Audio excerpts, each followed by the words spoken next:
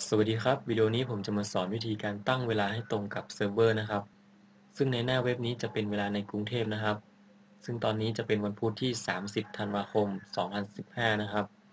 ซึ่งตอนนี้จะเป็นเวลา 10นาฬิกา8นาทีนะครับ แต่ถ้าสังเกตดีๆนะครับ ข้างล่างของผมตอนนี้มันจะไม่ตรงนะครับ ซึ่งผมจะมาสอนวิธีการปรับให้ตรงกับเครื่องเซิร์ฟนะครับ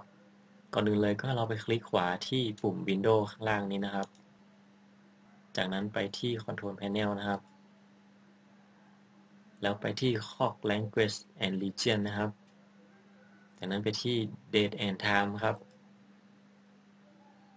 จากนั้นไปที่ Internet Time นะครับ จากนั้นไปที่ Change Setting ครับ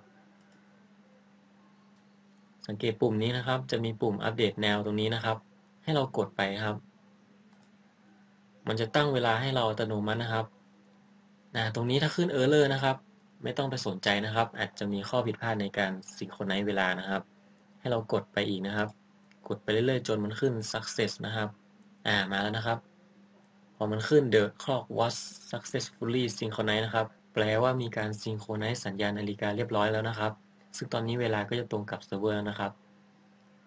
ซึ่งถ้าขึ้น successfully แบบนี้นะครับ ก็กดโอเคได้เลยครับ กดโอเคอีกทีนะครับ แล้วก็ปิดได้เลยครับ ลองมาสังเกตนะครับ ตรงข้างล่างนี้นะครับ วันที่ตอนนี้ก็ตรงแล้วนะครับ เวลาก็จะตรงแล้วนะครับ โอเคครับ ผมขอจบวิดีโอไว้แค่นี้นะครับ สวัสดีครับ